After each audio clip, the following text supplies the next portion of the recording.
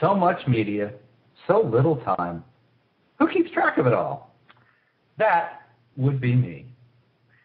This is Bob Andelman, and this is the Mr. Media interview, recorded live on Blog Talk Radio on March 7, 2008. Kristin Harmel's new novel, her fourth in fact, is titled The Art of French Kissing. It's a sweet, surprisingly gentle story of a young boy band publicist who's a woman from Orlando whose life there collapses and she goes to Paris to escape and maybe find herself again. It's chick lit for sure, but I enjoyed it. It also made me think more fondly of Paris than I have since the one time that my wife and I visited there back in 88. Maybe we'll get into that later. Kristin, welcome to Mr. Media. Hi, thanks for having me. How are you today? I'm doing well. How about you? Good, good. So tell us that you're in some fabulous part of the country. You know, I'm actually back home in Orlando, Florida right now. After uh, in the past week, we've been in Boston, uh, New York, uh, Atlanta, and now back in Orlando for launch parties. Uh, Orlando. Well, that's okay. we'll we'll just pretend you're like in Monte Carlo or something. Exactly. Can I backtrack and revise that? I'm lying Yes, on the beach in yes. Hawaii. Yes. Come on, you're you're you're in the fiction business. It's all about you know theater of the mind. exactly. My mistake. Sorry. it's okay. So you just released two books pretty simultaneously: um, "The Art of French Kissing" and uh, what I believe is a young adult novel, "When You Wish." Yes, that's correct. They're both from different publishers, which I think accounts for the reason that they both came out um, around the same time. But yes, When You Wish is my first novel for teenagers, uh, basically for ages 12 and up. And it came out uh, just a couple weeks ago, so I'm really excited about that one too. But but tell the truth, Kristin, because everybody wants to know this. Uh, you you you actually outsource the writing of your books to India, so you have time for fun stuff. I wish. I'm going to have to start thinking about that. Thanks for the idea. I, I I hear they do everything for less. There you go, exactly. And, and you know, if I could do that or just find more hours in the day, I think we'd be all set. hey, I want to I want to give out our phone number uh, right off the top in case uh, if anyone out there would like to call. I've been guilty of uh, uh, monopolizing my guests in the last few weeks. So I want to make sure if anybody wants to give a call, uh, the number is six four six five nine five three one three five. And uh, of course, you must call in on a day that you're listening to the show live. So if you've lost track of the day, it is March 7th, 2008. Uh, but if you're listening live, we'd love to have you call in. I'm sure Kristin is just dying to answer every personal question you can possibly. the more personal, the better. yeah, exactly, exactly. And now that we've reminded her about the uh, the theater of the mind, I'm sure she'll come up with some really good answers. Uh oh. the uh, the art of French kissing, which is a book that I've just finished reading. I mean, it, it se- from what I've read, it seems to hug very close to certain details of your own life. Um, yes. is that true? Uh, In in some ways, um, in that uh, it was basically inspired by the fact that I myself, uh, five years ago, went over to live in Paris, sort of on a whim, the same way that the main character of the novel does. Um, and like the main character of my novel, I really didn't speak much French when I went over. And I went over uh, to live with a friend, sort of at a, a time in my life when my own life was in a little bit of uh, disarray. However, my uh, my path sort of parted from the main character of the novel when I went over there. In that she actually had all these fabulous adventures of, um, you know, dealing with this crazy, you know, international rock star and, and whatever. And um, I would say my adventures were much more tame. so I, I had to use my imagination a little bit to create her world. Oh, you're just you're you. I'm just feel so sad now. I really wanted to hear that you had to you had to you had to tamp uh, tamp tamp down your own experiences to put them in the book. Well, I will have to say a few of the things that uh, that poor Emma has to do in the book uh, include hanging upside down um, from between you know a couple of buildings in Paris. So I'm happy that I didn't have to do anything wacky like that, but I did have uh, I did have some crazy adventures. Paris is um, Paris is quite a place to go. I think as a uh, as a as a young person, or goodness, as as any any person, I think it's just such a um, such a wonderful city where you could just I don't know explore all sorts of different things. I did have quite a lot of adventures there, though. Well, and, I, and I'm thinking anyone reading this book is going to feel the way I did when it was over. You know, I got to go to Paris.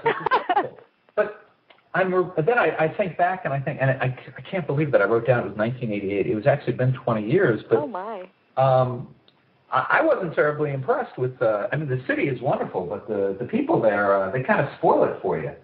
You know, I, I had always heard that before I went to Paris for the first time. I actually went to, the, to Paris for the first time the year before I lived there, and I had a great experience. But you know, when I when I went back to live there for the summer, my experience was even better. And you know, I think that maybe you know, 20 or 30 years ago, maybe um, Americans got a uh, a frostier reception from Parisians. Mm-hmm. But I hmm. think now, uh, you know, I, I I really just didn't have any problems with it. I found people there to be very friendly.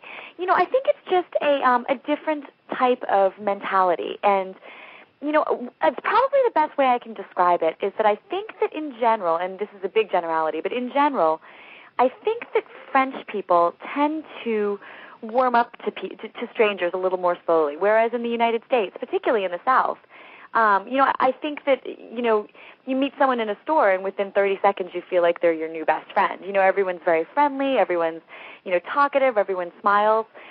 In France, in general, I think people tend to be a little bit warier of strangers, but not in any sort of negative way. Just in a way that means that in a way they're a little bit more um, more genuine. Like they want to get to know you as a person a little bit before they make a judgment about whether or not to be, you know, ultra friendly to you. So I found that when I realized that about the culture and that when I realized that um a reception that wasn't warm wasn't necessarily a cold reception. I think I, I, I really sort of understood where they were coming from, and I realized that they were not actually being unfriendly. I'm sorry, I'm going back to my notes here. I just want to be sure. Are we talking about Paris? are. But, but see, you're saying you haven't been there in 20 years, and my experience of having been there more recently is that the people there actually were very kind. And you know, I also think um, that that one of the problems that Americans encounter is. Um, going over there and expecting every French person to be able to speak English. And that's not always the case, but generally in the big cities like Paris, especially in the you know the retail industry or the um, you know if you go out to a, a meal or whatever, generally they speak at least basic English. So I feel like as an American, if you either make an effort to speak a few words of French, or if you just say, I'm so sorry, I don't speak French, they'll usually warm right up to you. I think that sometimes Americans get a negative reception when they just sort of assume that their language will be spoken. You know what I mean? Mm. I uh, I'm dying for you to ask me what happened to me in Paris. Oh, I'm so sorry I missed my cue. What happened to you in Paris? All right, the only story that I will share because it's it's your it's your time and not mine. No, no, I would like to hear I'm, it. I'm dying to tell this. So I'm there with my wife. It's like middle of the afternoon. We're starving. We go into a uh, a cafe, a patisserie. I, I don't I don't know. You know, it was a place where there were there were tables for dining. There was a bar it was the middle of the afternoon. There was no one there. The, the staff was hanging out at the bar. We walked in. We're dying of thirst and hunger, and we sit down, and uh, we wait, and we wait, and we wait, and no one, no one waits on us. Uh, no one comes over, and I finally I get up and I walk over and I say, "Excuse me," uh, or I may, maybe I even said, "Excusez-moi." Yeah. You know, uh, pardon. Uh, I tried. I had, you know, I had my college, University of Florida College French. Go Gators. So you know, you know, it had to be good friends. And and uh, you know, I you know, I asked for a menu, and uh, yeah, yeah, yeah, we'll bring it to you. So I go and I sit down, and we wait and we wait, and still they and they, there's only us and the the staff. Oh no. so we wait and we wait, and finally, uh, someone else comes into the restaurant. Yeah. Uh, and it's a it's a man with a full size standard poodle. Oh. And he goes over to the bar, and they immediately give him a drink. They give him a croissant, and then the poodle puts yeah. its paws up on the the bar, and the poodle gets a bowl of water and And this is when I knew that my impression of the French to that point was not far off. Oh no! That they really, they made a real good show of how little they cared for uh, us Americans. Oh this goodness! this is in central Paris. I mean, this wasn't like we weren't out, you know, out in the boondocks. So that's, uh, so that's why I keep asking: Are we sure we're talking about Paris? that's a terrible story. I'm so sorry that that sort of uh, shaped your opinion of Paris. You know, I, I will say that um, I have found that in you know it, it seems like it wouldn't be that logical, but I've found that sort of in some of the more touristy areas of Paris, they do tend to turn their nose up to uh, to tourists a little bit more, which is sort of a strange contradiction. But um, you know, I I think there's another thing about the French that for me took a little bit of getting used to because I'm very um kind of rush, rush, rush from one thing to the next. And I think sometimes, particularly when it comes to eating or situations in restaurants, they just do things much more slowly. so they were probably having a little coffee break and back or something and thought, oh, he can wait, no problem. exactly, yeah. I think that may have been it. Well, part of this, now the reason I asked you this is that, um, and, I, and I saw the, uh, uh, the segment you did on Good Morning America. I mean, first of all, eight minutes on Good Morning America. That was but um, you're you're being called on, I think, I, I guess, more and more to be that American expert on Paris and, and and the French. I mean, how do you feel about that part? I love it. I mean, yeah. it, it sounds silly, but the summer that I spent living there, and it was just three months, and you know, it was just sort of a very impulsive thing to do. I just picked up and left my life here behind, took three months off my job, and went and lived over there for three months. But it was a three a three month period that I would say really, really shaped my life. And again, it sounds a little corny, but I just feel like Paris has sort of been a part of me ever since. If that makes sense. I've felt very passionate about the city, about the country, about learning about you know, French customs and things like that. I've enrolled in a French class and I take French classes now, so I'm learning to speak French. Although I certainly don't speak it very well. I, I'm still working on my accent, but um, but you know, I I feel I I just feel so passionately about Paris that it's an enormous honor for me to be called on in any way, in, you know, in any arena uh, to to talk about you know what makes France so wonderful. I mean, and I think like any country, there are there are things I don't like about France. Um, uh, certainly, but but you know, I just I think that um that in general they just have such a a different and lovely outlook on life, and and you know I think it taught being over there and sort of being around that. I think really taught me to appreciate the little things in life a little bit more than I have learned to here in the United States. Now, okay, but Kristin, now you're teasing me because you just said there were things you didn't like. You know, as you soon as I said that, that, I was like, he's going to ask me about that. Yeah, I mean, you know I want to hear that.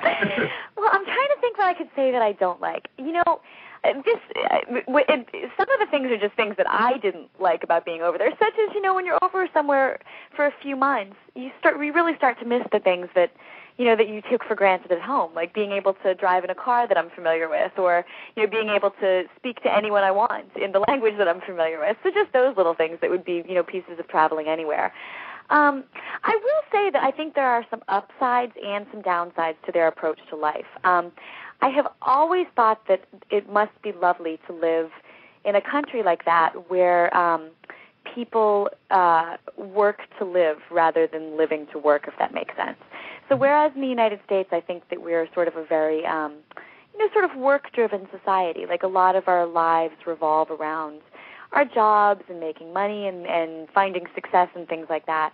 I feel like in France, people work a short work week, and and again, this is a you know I'm I'm I'm this is a very broad generalization, but in France, I think the tendency is more to work a very short work week, and then truly enjoy and savor all of your time off. I mean, they have standard, you know, six week uh, six weeks of vacation every every year, um, and the 35 hour work week is fairly standard. Although I believe that's beginning to change. I think it's been uh, changed in um, in their legal system system, if I'm not mistaken. But for a while, I believe that they were actually limited by law to a 35 hour work week. I, I could be mistaken about that, but I, I believe that's the way that it is. And so, in a way, I think that's wonderful because I think that as Americans, we could take a little bit of a lesson from that to sort of learn to enjoy our lives outside the office a little bit better. But at the same time, I will say that I mean, it. I think that in the United States, like we really should also be proud of everything that we've built up, and we're such a successful nation, and we have such successful industry here. And you know, not that France doesn't, but I feel like we're a little bit further ahead of that curve because of the attitude we have toward work. So, you know, there's sort of upsides and downsides, I think, to every every nationally prevailing attitude, if that makes sense. Well, Kristin, I, I like you so much more now that you've you've you've given me some something else not to be so fond of French about. Um, I want to give out our phone number again, and we've got a call for you here. Uh, folks, you can call in on six four six five nine five three one three five, and we have a call. Uh, uh, let's see if the call is there. I think I know who this is. Hey. Hey, Bob. Pete Williams here. Hey, Pete. How are you? Doing just fine. Hello, hello, Kristin. Hey, Pete. How are you? I am fine, and I, I want to share this little anecdote first. I'm uh, out covering a uh, sporting-related event here in the Tampa Bay area, talking to a young lady who's like in a, a year out of college, uh, and she's uh, covering uh, football for a, for a TV station and talking about, geez, I don't know how I'm ever going to move up. And I'm thinking it would seem like just the other day, and I know it was 10 years ago, but there you were still in college uh, covering uh, the Devil Rays for a now defunct publication, and here you are. So congratulations. I know it's been a, a lot of work and, and well deserved for you. Thank you. Uh, my, but you know, Pete, you were actually always one of the people who really uh, was very supportive of me early on. Like you were one of the first uh, journalists I met when I first started working, and you were always really good to me. So thank you for that. You bet. And, uh, and obviously, I am not a, a chick lit aficionado, um, but I, I recognize the importance and the attraction it has to uh, millions of readers. And I'm just wondering where where do you get your material for for these books?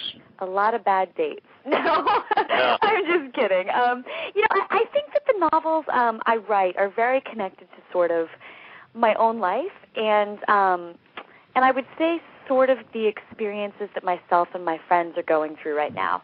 Um, I'm uh, I'm 28, almost 29. Um, I'm still sort of going through the uh, the sort of you know the the struggle that you do sort of in your 20s and 30s of finding yourself and of sort of finding where you fit in the world. And you know, in amongst that, there's you know the funny little adventures that I get to go on, and like I said, the bad dates. So you know, I think I sort of tie together loosely from my own experiences, sort of the the basis of these characters, and then I sort of put them in worlds or situations that are interesting to me. Um, you know, whether they are, whether they are things that I have experienced or not. For example, with the art of French kissing, of course, I've set it in Paris, which is a city that I feel you know, very passionately about. Um, but the things that happen to the character there never happened to me. Those were sort of just out of my imagination. But the lessons that she learned, I feel, are, are um, lessons that I'm still learning myself, and lessons that I think are fairly uh, universal for for um, you know women of uh, of my generation. I would say. Do you have any plans to to take these uh, characters down to the French Riviera and, and have some, I guess, saucier, racier experiences for them? um, I'll have to think about that. I'm actually in the midst of writing um, a new novel that's going to be set in Rome that will come out next summer, in summer of uh, 2009. So, um, so I'll probably tackle that first. But I do. Um, I do generally try to drop uh, characters from previous novels into my new novels, not in any major role, but you know, I, I like to have the old characters cross paths with the new characters, so that readers who have read a lot of my books, you know, sort of, uh, you know, can say, "Hey, I remember that person from your first book," or whatever. There you go. Well, again, best of luck with everything, Kristin. I'm, uh, I'm, I'm proud to say I knew you win. Well, you know what? I'm proud to say I knew you, and I'm proud to say I still know you. You're a good friend, and I appreciate that. All right, Bob. Thanks as always. Appreciate it. Thanks for thanks for calling in, Pete. And uh, let me tell everybody that Pete uh, is a host on. Uh, blogtalkradio.com himself. He does a show called The Fitness Buff. Uh, airs every Friday, Pete. If you're still there, at, no, he's gone. Okay, it's uh, I believe it's Friday afternoons at 4 p.m. or 4:30 p.m. So uh, you might want to check that out. But Kristin, I got to ask you. You know, when you, you I think jokingly said that you had a lot of bad dates, it it, uh, it worried me there because I thought, boy, if, if that's all it takes to write a, a novel, then I probably inspired an awful lot. Of um, you know, I think that's just my rationalization in my head when I go on a bad date. I just think to myself, that was horrible, but at least maybe it'll inspire a scene in a book or something. But no, I'm actually just kidding. I really have not been on that many bad dates. I've been um oh. I've been fortunate to uh to know um uh, and and to go out with a, a lot of nice people. So we'll hope it stays that way. Okay, she's backtracking. I'm backtracking. Sorry, guys. You, know, it's funny when you said that. It reminded me of something my dad said to me when I was starting off as a writer many many years ago. He said uh, he was, and he he, he didn't say it in necessarily a good way, but he said, you know, the thing about you is anything bad happens to you, you'll just write about it, and make it a good thing. Exactly. There you go. Yeah, yeah that's that's you know that's really what it uh, what it comes down to. Um, what what do, I got to ask? What does make a bad date? I mean, and I, I'm, my sense is that you're single, so yes, it's a fair question. What makes a bad date? Let me think. You know, I I'm a very um I, I don't I think that maybe the reason I don't feel like I've been on a lot of bad dates is because I usually just enjoy talking to people and finding out about them and you know I I just enjoy meeting new people. So usually uh, dates are fine, but I think the ones that are bad are the ones that you feel like you're pulling teeth just to talk to a person. You know what I mean? Mm-hmm. Um, like, well, like when I feel like I'm interviewing somebody as opposed to having a conversation with them. To me, that's sort of the worst kind of date where you have these, you know, I ask a million questions and they just answer them with yeses or nos and then stare at me blankly. It's like, okay, I only have so many questions. I'm running out here. So, uh, but fortunately, I have not been on many of those. Well, that's that's a good thing. That's yes. a very good thing. Um, let's let's come back to the book and. Uh, uh, Emma, uh, the lead character in the book, I mean, she comes off as kind of a doormat at the start of the book. Everybody's just kind of, uh, I guess I'll use the male description here. Everybody's kind of lifting their leg and peeing on the poor woman. That's um, true. Had I mean, have you been through anything as as as consistent and awful as she is, or did you just pile on the poor girl in the book? No, you know what? Um, writing writing her like that at the beginning of the book um, was actually sort of a a personal thing for me. Like I feel like it was um, something that to some extent I feel like I used to be like that a little bit too. And I think that's something that many novelists do is they sort of work through some of what they feel to be their own issues in their fiction. Um, I think, hopefully, that I'm mostly past doing that, but that was a lesson I had to learn a couple years ago. And, you know, at the beginning of my novel, you're right, Emma is a little bit of a doormat. She, but, you know, I think it's less of her being a doormat and more of her foolishly sort of seeing the world through rose-colored glasses. Mm-hmm. And then when it doesn't turn out that, you know, th- that her perceptions are correct, I think not having the guts to stand up for herself. And I think that's a mistake I have made in my life too. At the beginning of the novel, um, Emma actually uh, find it has her boyfriend say or her fiance say, you know, I no longer want to be with you. And you know, I think that's one of the most hurtful things that someone can say to you if you're uh, you know like i said she's engaged to him and she's planning to spend the rest of her life with him and despite the fact that in retrospect there were obvious there were obvious problems in the relationship you know i think that she um sort of chose not to see them and turned a blind eye on them and therefore became sort of a doormat mm. I, I yeah, it was tough, and and uh, I, I don't want to give away anything from the middle or the end of the book. Right. But there was one one thing at the uh, at the beginning that happens with her. I mean, the boyfriend. I, I don't. I hope. I hope I can give this away. No, I mean, please. It's, it's the, at the beginning. That's no problem. All right. The fiance dumps her, and she loses her job, and that in itself is horrible. But when her best friend sleeps with the fiance, I just thought, oh, you know, I actually feel sorry for this character that doesn't even exist.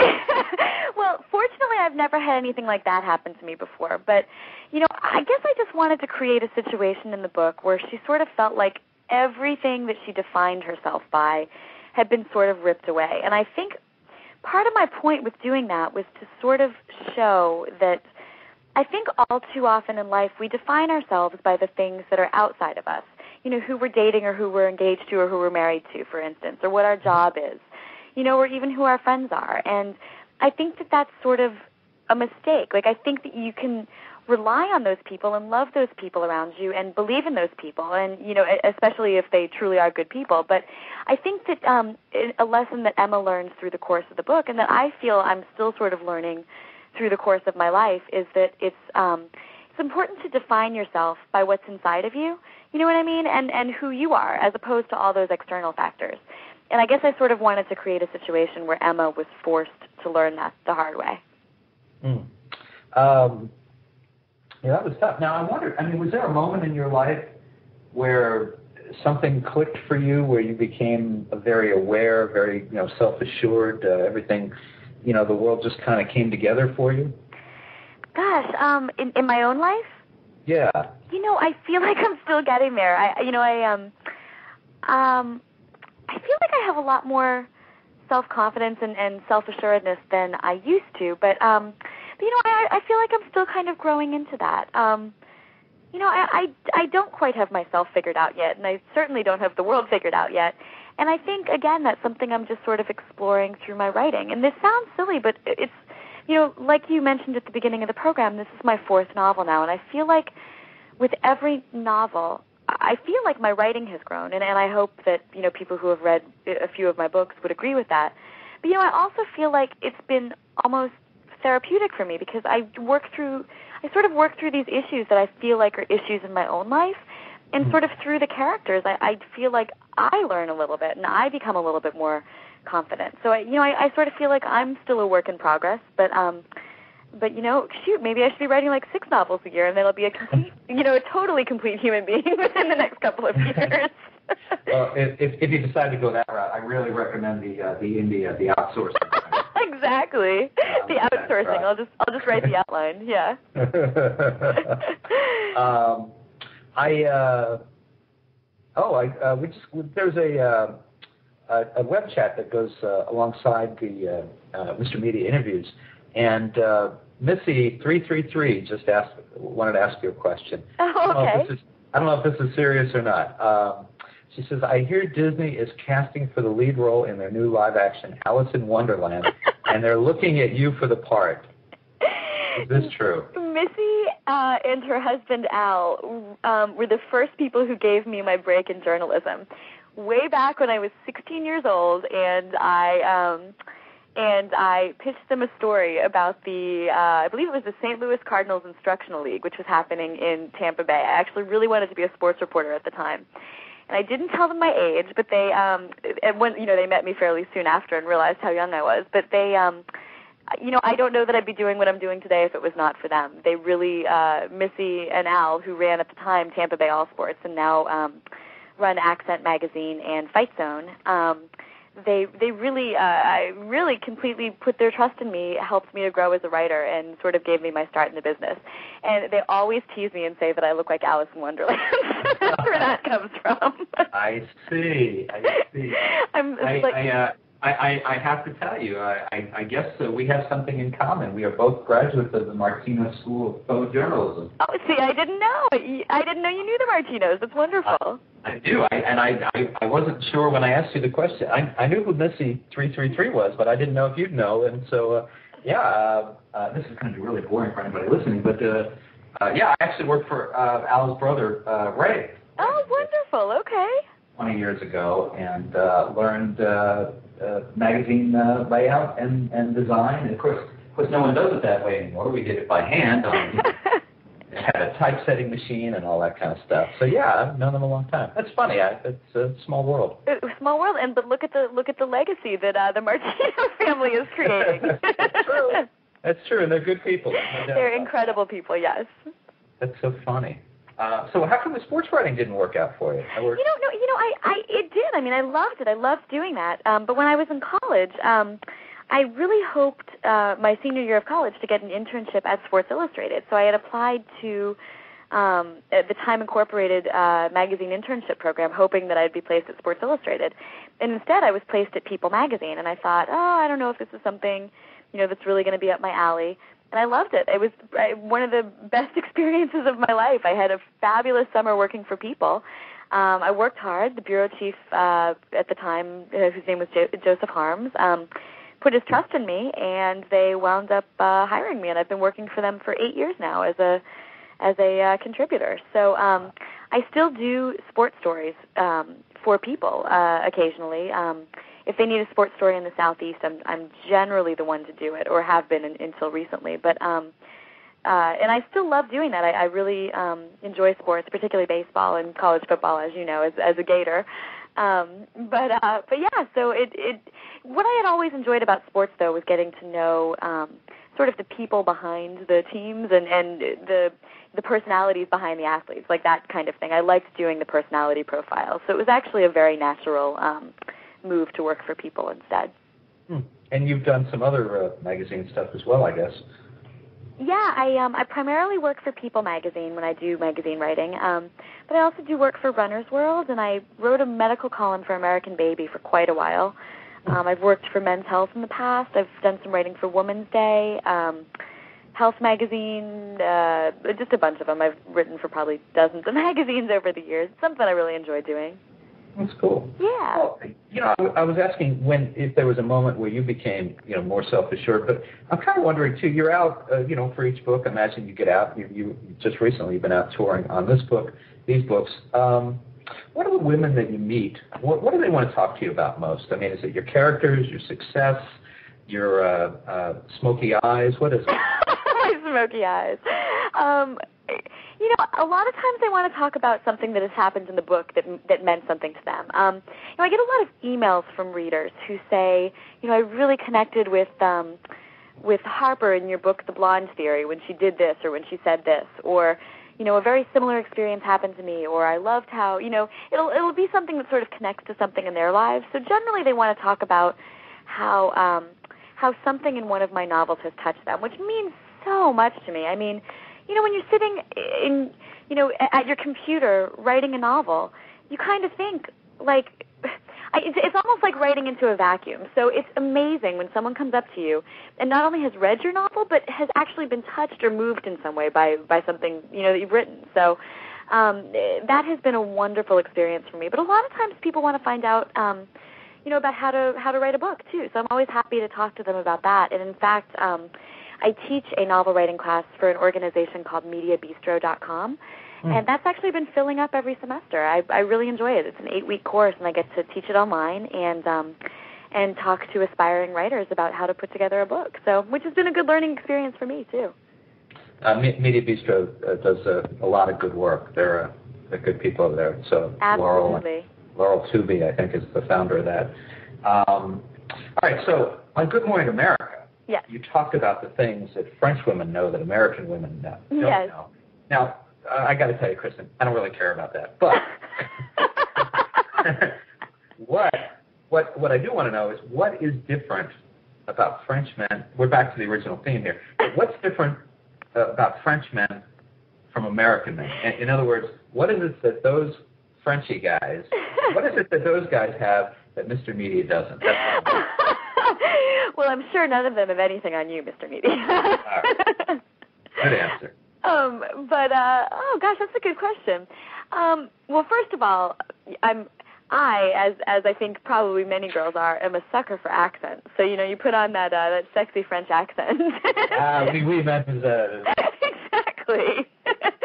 no, so uh, you know, I I think that um, probably one of the major differences that I can think of is that really in general Frenchmen and again I'm I'm this is a broad generalization and you know it's hard to sort of general generalize about an entire you know culture or country full of men. But in general I would say that Frenchmen tend to be um more unabashedly uh romantic if that makes any sense. Um you know I, I was uh sitting at a bar with a friend of mine one time in Paris you know just with with a female friend of mine and this French guy tried to start talking to us, and he didn't speak any English at all. And this was five years ago when I didn't really speak any French. So there was really no basis for communication between us. So after like literally not being able to communicate, he turns away for a moment and comes back about 10 minutes later with something scribbled on a gum wrapper which he handed to me and he had written me a poem in English, like I guess using the only English words that he knew. and at the end asking me to see Paris with him. So it was cheesy to be sure, and I think it's sort of funny that it happened. But you know, I can't imagine.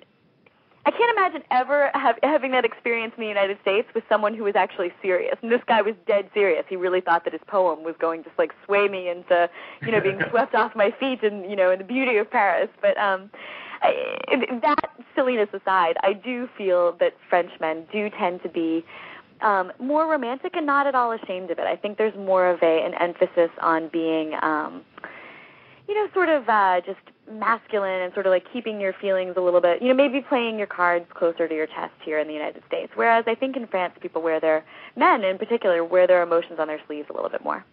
Now, having said that, I did read your book, so I do know about the the uh, the French uh, character in there who. Um, uh, makes a big play for Emma, and he's so he's so sweet. He does this. Well, it turns out he does that to every American woman. Yes, that's because, true. Uh, you know, I'm, reminded of that uh, uh, Geena Davis movie from years ago, Earth Girls Are Easy. You know, yes. So apparently, I mean, is part of it over there that that they they think that American women are easy? Is that, uh, is you know, that I, I think that um. I, I I don't know that they think that American girls are easy as much as some of the slimy guys, and there are slimy guys, I think, in every country. so, I don't know what you're talking about. so I would say the small handful of slimy guys that exist in France probably do look at American girls to some extent as easy prey because, uh, quite frankly, we probably are. I mean, we, we're used to men, like I said, sort of being a little bit more. um or maybe like withholding their emotions a little bit more. Um, so I think it's it's easy as an American girl to listen to a guy, you know, saying sweet things to you in that wonderful French accent, you know, to the backdrop of this beautiful city, you know, and and telling you how beautiful and lovely you are. They've never seen anyone as lovely as you. And you know, I, think that there are certainly, you know, cheesy guys in the United States though who would use the same lines with the same amount of success. So, so I, I suppose um, I don't think it's just American girls that would be singled out as easy targets by those type of people. I think it would probably be any girls who look like they could be easily swayed. You know. All right, but it really, it really does come down to the accent, right? the accent, perhaps. I mean, gosh, it's such a such a beautiful accent. I I wish I had a French accent. I wish you did too. um, I would I would have to start talking in one. yeah. That would, yeah, right. And, but if you did have the accent, you wouldn't be talking to me. So let's leave things as they are. Um, so you you uh, you told us a little bit um, about how you got your the magazine break. Uh, you got the internship. You wound up at People instead of Sports Illustrated. How did you get your um, fiction break? How did you get how did you get the first book published? Was there you know was there a good story to that? Well, you know, I had always um, wanted to write a novel, and I thought to myself, um, you know, I'm too young to do this. I don't have the life perspective yet. Um, and then, you know, to be honest, it really was that summer that I went over and lived in Paris. It made me think to myself, why not try? I mean, yes, I could just stay on the fast track and try to, you know, do everything I can in the in the magazine world, or I could continue to do that, but also sort of pursue my dreams. So slowly I started writing my first novel. Um, with, you know, I had not contacted an agent yet. I had not contacted a publisher. I just came up with the idea for a story, and um, I had a few friends in Tampa at the time that all worked in the same office. And I said, "Hey, I'm gonna try to write this book, but like I need to stay motivated. Could I send you one chapter a week so that I know that like someone's waiting for it?" And they were all excited, and I started sending them one chapter a week. And so slowly, I actually wrote this first novel. Um, and then when I finished it, I started sending it off to um, to literary agents. And I got an agent, and um, we did a little bit of work on the book. They thought I needed to make it a little bit funnier um, and a little bit shorter, and so I made those uh, those fixes that they suggested. And then they sent it off to, at the time, Warner Books, which is now Hachette Book Group, my my current publisher that I'm with now.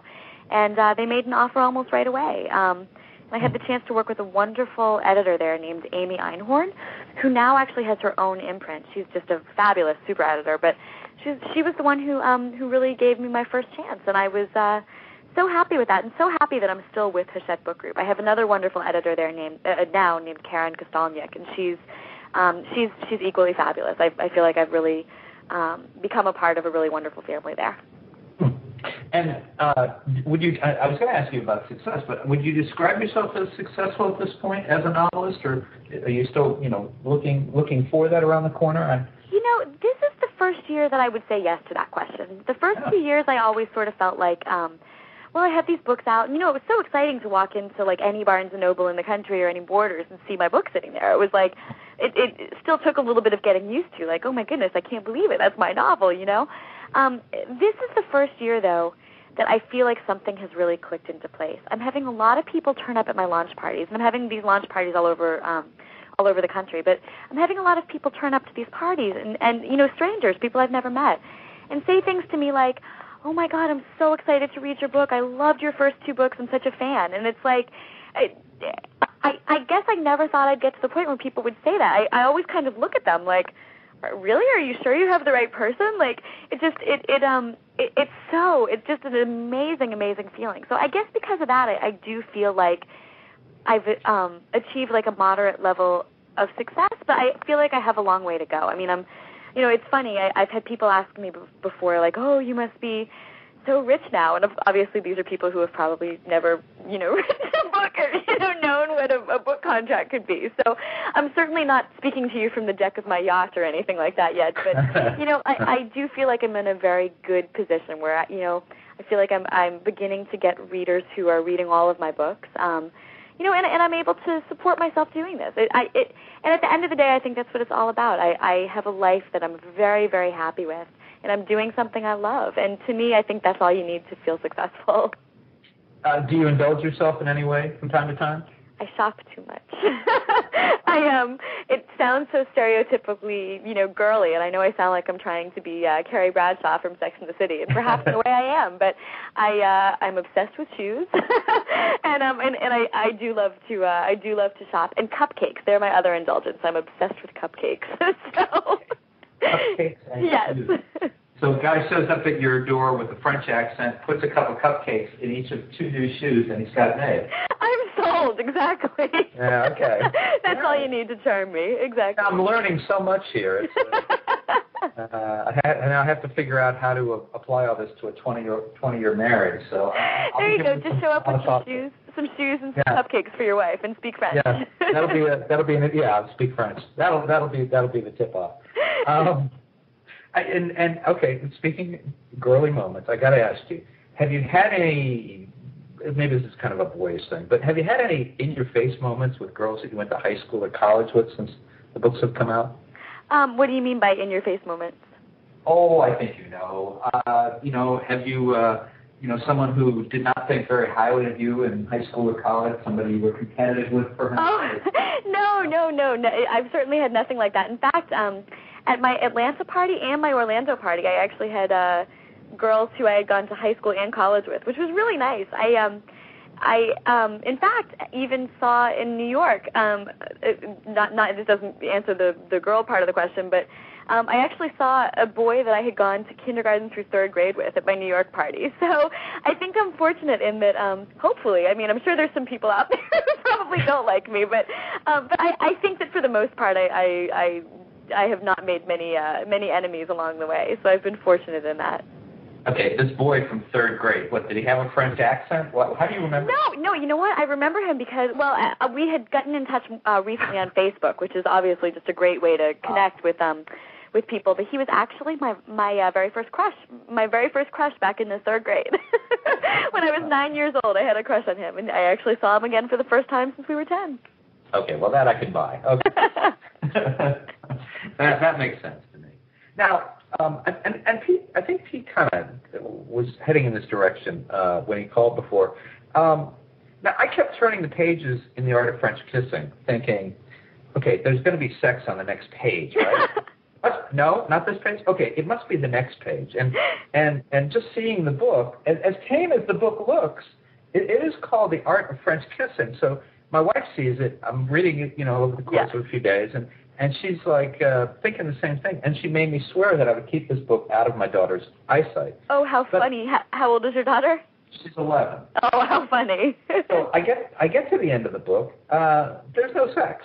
So No, what you it that I what is it that I as a man uh, do not understand about chick lit? What did I miss here? Oh, chick lit is generally not sex. There's generally very little sex in chick lit, and and if there and if there ever is, it's never like it's never like in a romance novel where it's like a where it's a sex scene for the purposes of you know getting you turned on or whatever. You know, it's it, the only sex scenes I've ever seen in chick lit novels are ones that have to do with like the growth of a character or the growth of a character's relationship.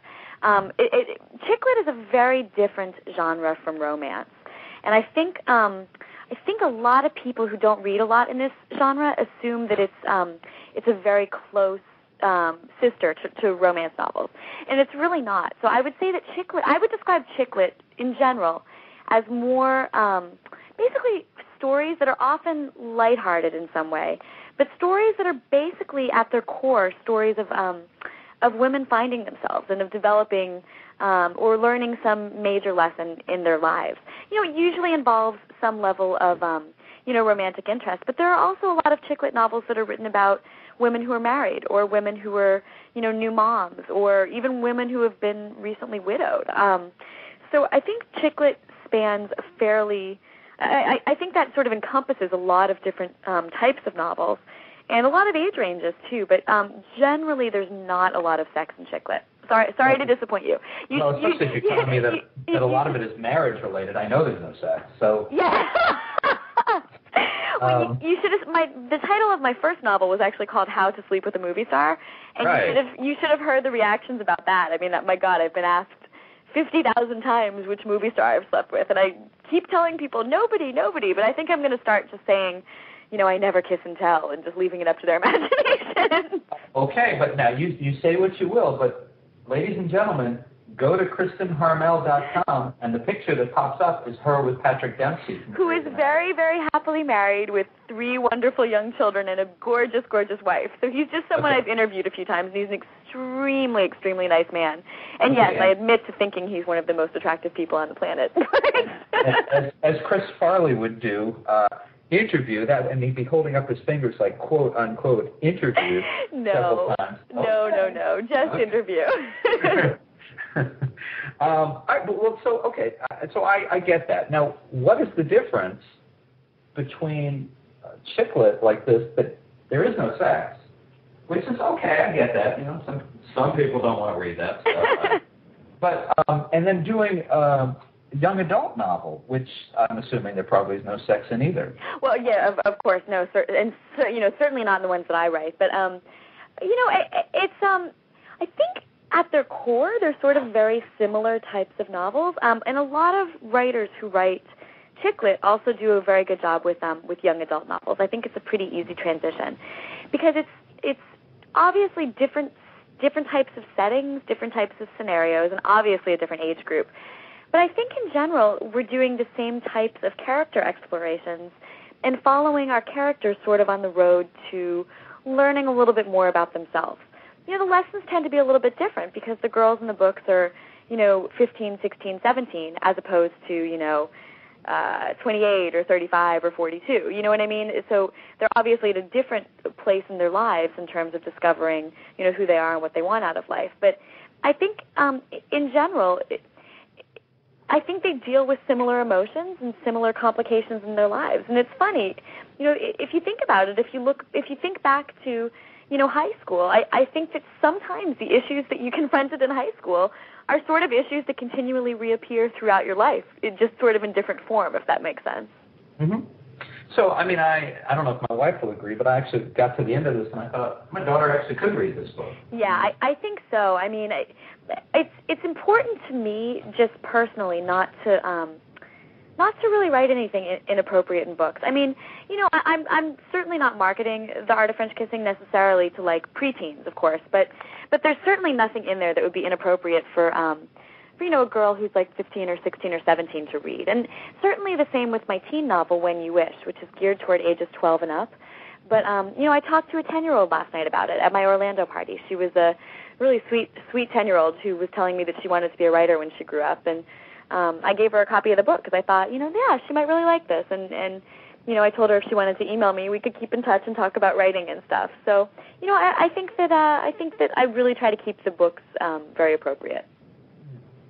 Well, so uh, what's next? Uh, have you, you know, do you have another book already in the pipeline? Are you writing? What What are you working on? I do. I have two books due at the end of the month of April, so I'm sort of losing my mind right now. I have one more um, young adult novel due and one more uh, women's fiction or you know chick lit novel due uh, at the end of April. So I am bearing down and working hard on those. And then when they're done, I'm actually going to take a trip to Paris and Rome. Uh, Rome because my next book is going to be set there, and I need to do a little bit of um, research.